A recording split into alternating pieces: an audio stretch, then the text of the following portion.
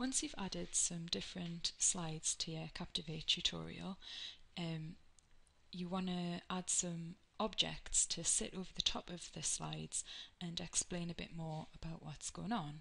So there's different types of object and you can insert them by going to the insert menu, going down to standard objects and then choosing some from this drop down. The first one we're going to look at is text caption. So if you click on it, um, it just appears just sort of anywhere on the screen, but don't worry, we can move it. Um, and the idea that I want to show you um, in this example is, say I've done this sort of um, screen grab of the Discover Home screen, and now I want students to kind of explore the page a bit more and click on things to find out a bit more about it. So um, I'm going to tell them to um, do something using this text caption. So you can see I'm just changing the shape of it, just using the um, drag and drop. When you're happy with it on the slide, just have a look. Yep, that's fine. Okay, so if you don't like the colours, just go to this um, pane on the right, and um, this is all of the attributes of this text caption. So if I just drag that up, if you don't like the colours, you can just change them. So I might go for Halo Blue, just um, if you don't want it to stand out quite so much. But now I'm going to have to change the text, so I'll just go here, and this is where you go to do that. I might make it this colour. So I'm going to tell students to use the mouse to hover over this image of the Discover home page and sort of find out a bit more about it. When you insert any kind of object, you can tell the Captivate how long to have it on the screen for. So this is time of the slide along the bottom. And um, this is um, where our sort of text caption is sitting right at the start. So let's just say transition effect, fade in and out, that's fine because we want it to appear and disappear. We want to appear after no seconds, so as soon as they go onto this, a new tutorial, it'll be there, that's fine. Um, and display for a specific time, three seconds. You can keep it for the rest of the slide or the rest of the project if you even want, but we're just going to have it for this one small section for three seconds. So that's it, that's how you um, that's how you sort of insert the caption first of all. So oops, I'll just jump off it and then I'll just check what that looks like by pressing this um, play bit here. So it's going to look like that and then it's going to disappear. So that's fine for what we want to do for the minute. So that's just how to insert a text caption. To insert a rollover caption, go to the insert menu again within Captivate Scroll down to Standard Objects and then select Rollover Caption from the list. The rollover caption will just appear anywhere on your slide and um, the point of this type of object is that when people um, move the mouse over an area, a message will appear explaining more about the slide. So um, to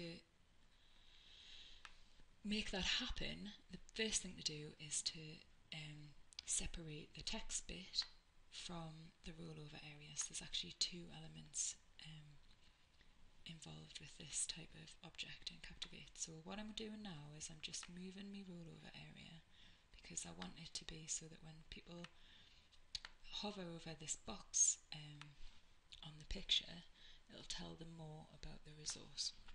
So I've positioned the rollover area there. Now I just need to do with the caption.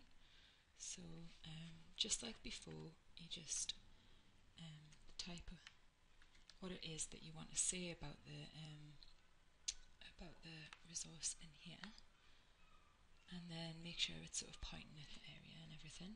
Uh, just like before, you can um, change what this looks like. So make sure that the actual box itself's selected. Then go to the right hand pane and you can change the properties so I'll change it to match the one above and then I'll change the font as well so that you can read it um, just make sure that that's um, format so you can actually also change the format of the text if you like Um, I'm just going to keep it sort of aligned to the left, but it's up to you if you want it in the middle. Um, an important thing to double check is the transition because um, this uh, text box you can see is, if you go down to the timeline here, is just going to appear for three seconds. But we want the um, rollover caption to be present for the whole duration of the slide so that people have a chance to roll over different things and it's not going to just appear and then disappear. So you have to make sure when, when this is selected and then the transition, you have to make sure that it's okay. So when it goes to timing, display for rest of the slide because you don't want it to display for only a specific time or the rest of your whole project so that rollover slide will just be present on every single one of your slides. So rest of slide, appear after no seconds because we do want it to be there from the start. And then um, uh, transition effect, fade in and out. Yeah, fade in and out, that's fine. Um, just make sure there's no there's no audio, and that's fine. Sizes are fine. So once you've inserted the thing, um, the object, you might want to sort of preview it. So you can press play, but it just sort of looks like it's hanging out there for the whole time. Don't worry about that. Um, it doesn't mean that you've done it wrong if you go to File, Preview, and um, place um, from this slide, so make sure that the slide you want to check is highlighted, and then from this slide you'll be able to check properly. It opens up. So there's the text thing um, caption, and then now it's ready for us to hover over stuff. So there you go. So um, we have done that correctly. So it's not just appearing and then disappearing and that's how you insert um, a rollover caption. You can insert um, quite a few on one slide um, just to enhance the um, content of your Captivate video. To insert a button into a Captivate um, project slide, you just go to Insert, scroll down to Standard Objects, and then choose Button. So it just appears anywhere, but as before, you can just drag it down to where you need it to be. Now, the point of a button is that um, when you've been inserting these different kind of objects, um, the you know the, the the personal explore this will appear and this will appear and then it'll go straight to the next slide. A button is like a, a, a placeholder in a way, it just pauses the slide until someone's done something to move the slide on. So it's it's pausing all of these different elements um, so that someone has time to explore this uh, slide in the context of what we're doing now and then move on to the next thing. So unlike the other um, the um, buttons with writing on, you can't edit the um, text by just clicking on it. You have to go to the properties pane. This is the properties pane to the right of the screen. There you go. So you have to go to General and then where it says button there, just change what it's called. Um, continue. Okay, so we'll leave the button as it is. You can change the character of the button by you can change the text or the colour of it, but for now we'll just leave it the same. Um, so on success, like on someone clicking this button, it will go to the next slide of the Captivate project. So we'll just we'll just leave that alone how it is.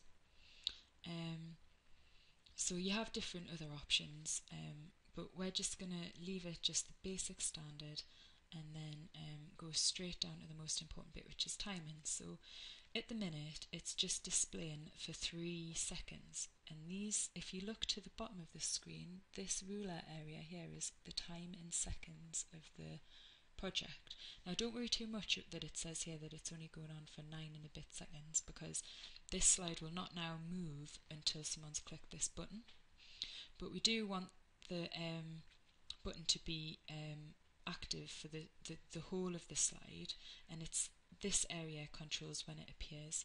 I'm just going to um, change this drop down now to say for the rest of the slide I want the button to be doing its action and I want it to appear after um, so it's in here zero seconds but what happens if you leave it for zero seconds is because it pauses everything and it's sitting on top of these other objects so there's our rollover um, caption and there's our text caption what I'm going to set this slide up to do is um, this message is going to appear, disappear, and then there's going to be time for the person to explore the different areas on this slide. So what I'm going to do is um, make sure button 7 is highlighted like that and then I'm going to oh I'm going to move the timing of the button so that it starts after oops, three seconds. So as soon as that message is finished, um, our button's going to appear and the people will be able to read the text, but it's going to keep the um, slide paused the whole time. Okay, so once you've done that, you can preview what the slide looks like down here but um, remember it's a more realistic preview of what the slide will look like if you go to um, File and then Preview but make sure that this slide is selected before you do this and we'll preview from this side. So then it just shows you what it'll look like. So there's the three seconds of this appearing and then this appears click to continue. So um, when we hover that a rollover caption appears and then disappears. And to progress to the next slide, you click here. But obviously right now nothing is happening because there isn't another slide. So if we just do that again and then insert something else, um, blank slide, and then we try and preview it again, you'll see what it looks like. Um, oops, no, we want to preview it from this slide. So just do that.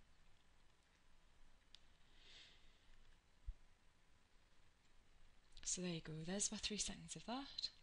Then we do uh, different actions to see what's happening about the resource and then and it's moved on the presentation. So that's the purpose of buttons and that's how to insert them into Captivate projects.